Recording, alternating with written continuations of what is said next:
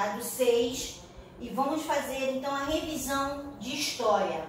É referente ao módulo 1, tá bom? A gente vai recordar os, os conteúdos, esses exercícios são referentes aos conteúdos sobre os primeiros agrupamentos humanos, a formação dos primeiros estados, Estado é, e práticas religiosas, as tradições orais e a valorização da memória, o surgimento da escrita, os primeiros calendários, as grandes navegações, as sociedades africanas, encontro com os indígenas, o início da exploração, administrando a colônia, a escravização de, indígenas, a mão de obra africana e os holandeses no Brasil. Tudo isso referente ao módulo 1, tá? Então vamos lá.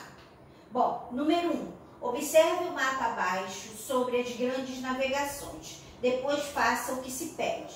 Então, gente, está é, tá mostrando, né, é, no caso, as viagens que foram feitas por Vasco da Gama, em 1498, Cristóvão Colombo, né, é, em 1492, e a viagem sobre é, de Pedro Álvares Cabral em 1500, tá bom? Então aqui estão as rotas que eles fizeram e vocês vão voltar ao assunto das grandes navegações, vão relembrar para poder fazer esse exercício, tá ok? Então vamos lá. Número 2. Complete as frases de acordo com as palavras do quadro. As palavras são sedentarizar, religiosidade, sumérios, griots, barberes, nômade, sujeitos históricos, grandes navegações e primeiros calendários. Aí vocês vão é, ler cada item e ver qual é a palavra que vocês vão completar tá? É, a lacuna. Então, na a letra A, letra B, é, a letra C até a letra H. Lendo a frase e ver qual é a palavra que vai se encaixar aqui, tá bom? Vamos para o número 3. No número 3, tem um texto falando sobre o Tratado de Tordesilhas.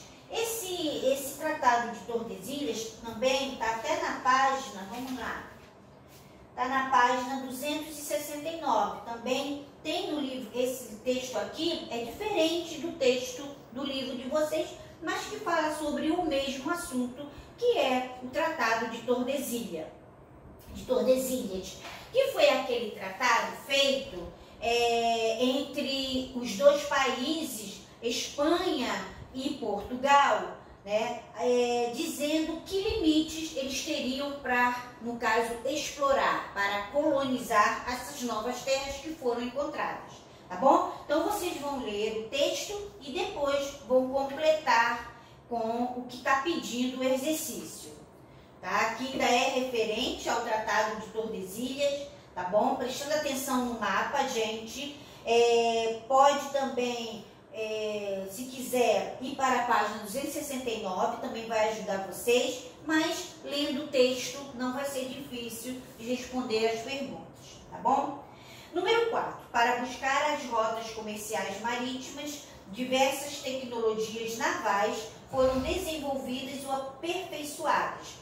Correlacione essas tecnologias. Então, foram essas tecnologias usadas para o desbravamento de novas terras aqui no nosso continente, que é o continente americano, tá bom? Então eles usaram e vocês vão ver, é, vão, vão completar com essas tecnologias é, que foram, é, no caso, usadas e também aperfeiçoadas. A bússola, a bússola, as caravelas e os mapas, tá?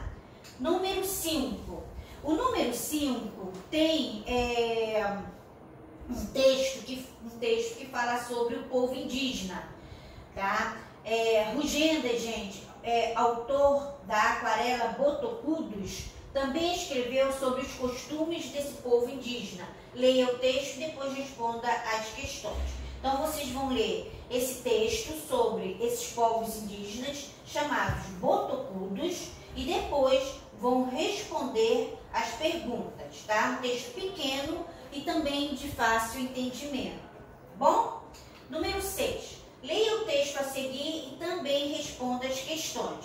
Também é um outro texto. Aqui está falando sobre o período colonial. O período colonial, que até expliquei para vocês, o que, que acontece, gente? O Brasil ele foi descoberto em 1500.